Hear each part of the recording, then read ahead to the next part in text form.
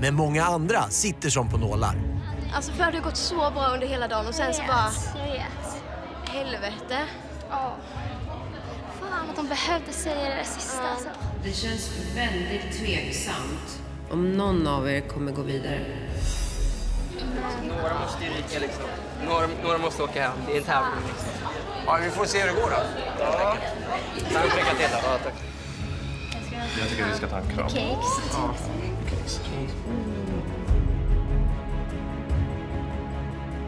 Det känns nervöst alltså.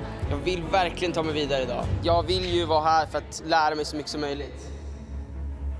Välkomna tillbaks. Vi i juryn vill bli underhållna och det blev vi absolut inte av ert framträdande idag. Alltså det var kaos. Helt kaos.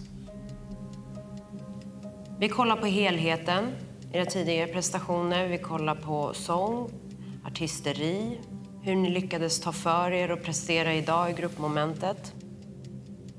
Och baserat på det har vi tagit ett beslut. James. Danica. Matilda.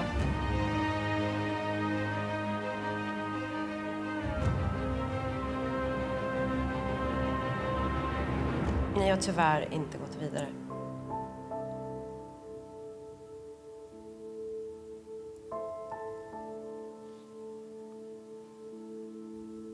Julie. Grattis, du har gått vidare.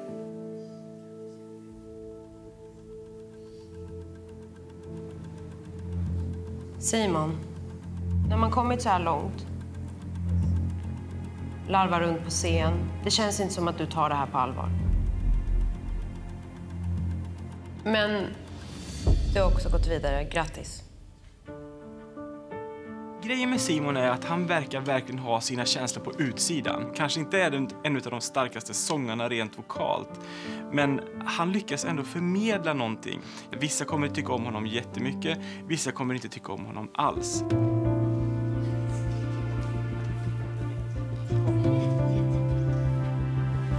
Lycka till. Grattis!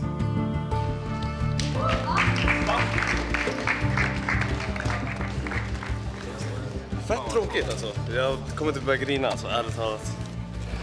Man ser på dig att du är väldigt besviken. Ja, jag är sjukt besviken alltså. Det här... Eh...